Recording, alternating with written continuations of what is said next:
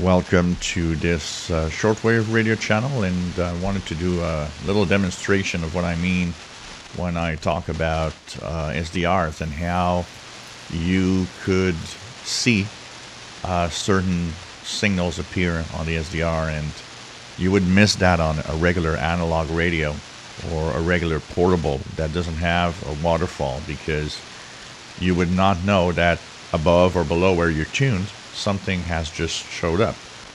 So this is a cool thing. So for example, I'm actually on 5500, but I noticed that here there's something. So I can actually go here, click, and see what's here. And of course it turns out to be 5616, which is an aeronautical frequency for the North Atlantic Ocean. So, you know, it's that's a cool part of having an SDR.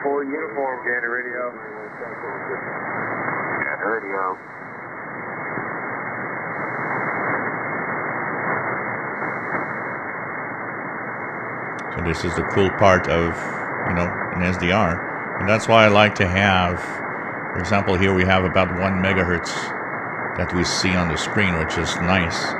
And I can see what's happening between 5 and 6 megahertz, roughly. You could see the start of the 49 meter band here on the top part, uh, which is cool because, you know, you could see all the signals from the stations there. Anything else that pops up, anything unusual, what also is nice is that often you can recognize signals. So one of the things that happens with signals on a waterfall is that they have some signature. So that means that if I actually zoom in, many signals will actually show me specific signatures of what they look like.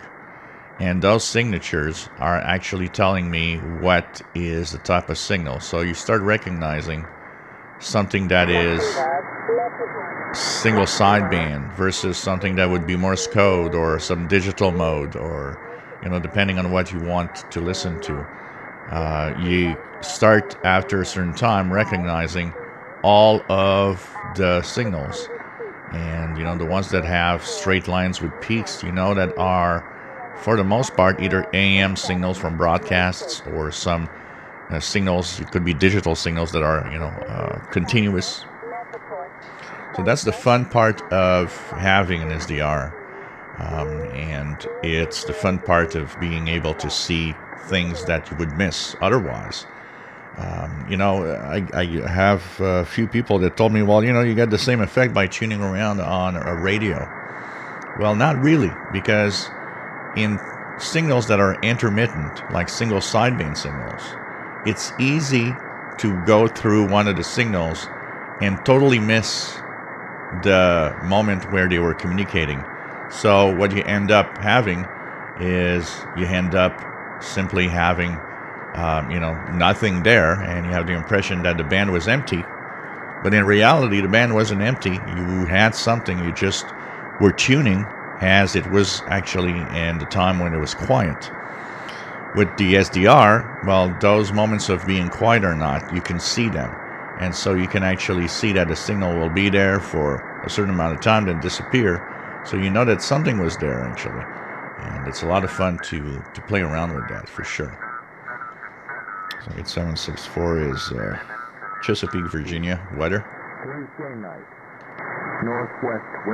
So that's what I mean when I talk about um, SDRs. And you see here there was something here. You can click here and say, okay, what was that?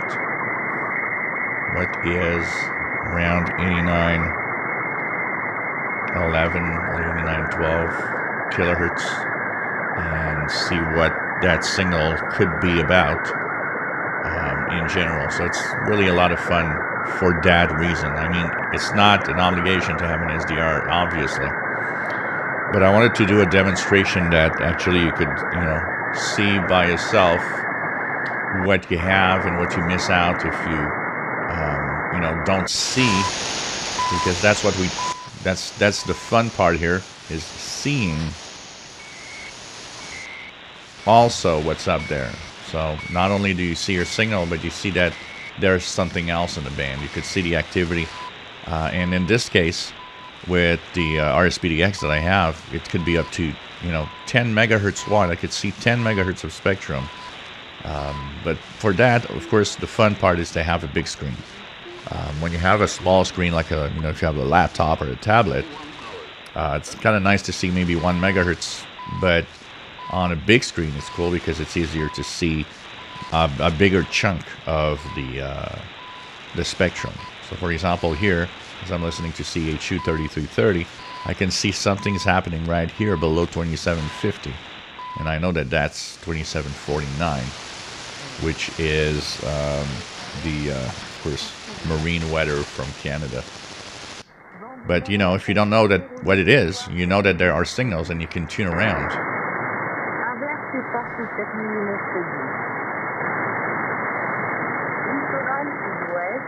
See something here, so I want to see what's that.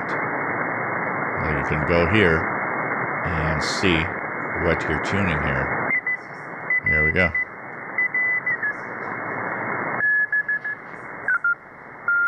And I believe this is W1AW Morse code um, lessons that they have every day. So I hope that this little demonstration of what I was, you know, I often talk about um, kind of shows you what are the capabilities of a software-defined receiver is. And once again, remember that an SDR is simply a radio. It's a little box. The only difference that an SDR has over a standard radio is that it has no controls. So the controls are done by the computer's software. That's all. But it's a radio that's hooked to my antenna here. Uh, that's on my balcony outside my MLA 30. It's nothing has nothing to do with the internet. A lot of people have the impression that owning an SDR is doing something over the internet. It doesn't at all. It's simply a radio that's controlled by a um, a computer.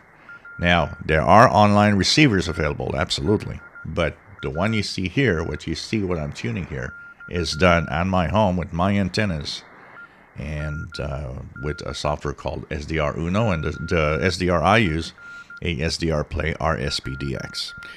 If you enjoy my videos, please subscribe, give us thumbs up. Thank you for watching.